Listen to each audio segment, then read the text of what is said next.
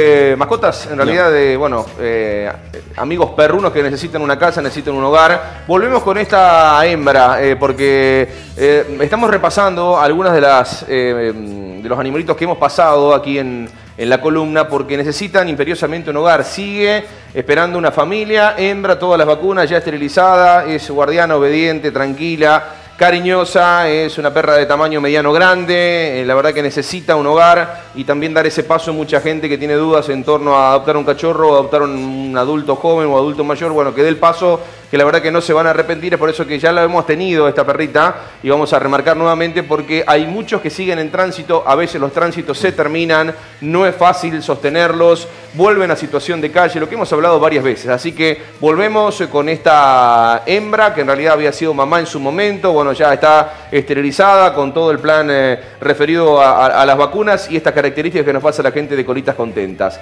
Y hablando de repasar, hablando de repasar, siguen esperando estas hermanitas que son parte de una camada de tres cachorros, uno de ellos fue adoptado y quedaron estas hermanitas que habíamos destacado que bueno, eran algo tímidas, que todavía le cuesta un poquito ambientarse con, las personas, pero de, eso se trata. ¿eh? De eso se trata. Todas las vacunas y obviamente van con promesa de esterilización. Tamaño grande serán, pero todavía siguen esperando por un hogar. Eh, insisto, eh, a veces está el tránsito, que hay gente que lo puede sostener, gente que no, pero ese tránsito nos sirve para otras mascotas, otros animales que están esperándolo. Así que aquellos que generalmente dan tránsito, no pueden ocupar, eh, digamos, ese espacio, no pueden eh, abrir ese espacio para volver a incorporar animales como tránsito, o directamente algunos no lo pueden sostener más, se hace difícil a veces la convivencia con los otros animalitos que están en la casa, así que Colitas Contentas en Facebook, en Instagram, eh, nos contactan a la producción, pasamos el dato, porque hay muchos animales esperando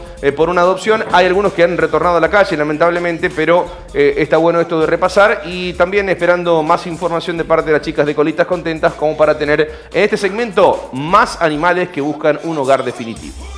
Bien, allí pasaba el segmento mascotero, es importante, como decía Luchi, ¿eh? Eh, brindarle cariño, los perros también te lo, te lo devuelven con mucho cariño. Así que... Y como siempre remarcamos, además de lo que mostramos acá, meterse a las redes sociales, en las historias o directamente en los muros, allí hay mucha información. Si te queda alguna duda, consulta con las chicas que allí eh, obviamente vas eh, a ver si son acorde a tus necesidades o en realidad no le des mucha vuelta y terminas adoptando a un eh, animal de estas características que la verdad, como decía Manino, no te vas a arrepentir.